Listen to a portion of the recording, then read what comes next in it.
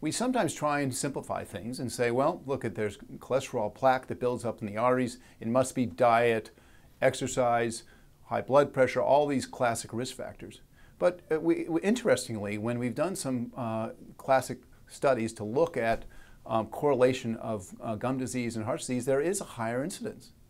And uh, years ago, we were doing, when we were actually fixing some of the arteries by removing some of the plaque, we actually stained the plaques for various types of organisms and was found that certain types of bacteria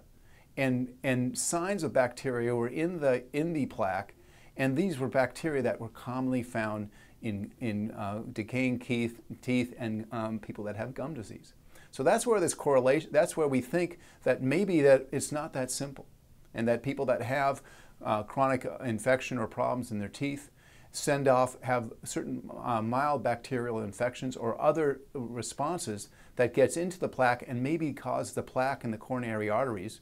to change and uh, increase the risk of uh, coronary problems and narrowing of the arteries and subsequent heart attacks. I think in, in medicine as in life, we try to simplify things too much.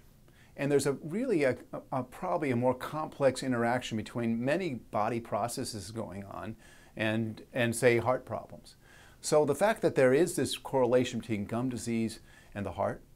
that maybe that, that, that similarly by, by uh, having good dental hygiene, having, uh, being generally lean and fit,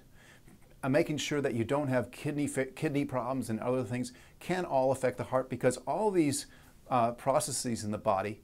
are, are interchangeable and, inter, and interact together. Such that I think that the healthier we are, whether it be gum disease, making sure our, uh, our, our, renal, liver processes are doing well, that we're not overdoing it in any other way or stressing our bodies is uh, going to be a, have a positive effect on the incidence of heart problems.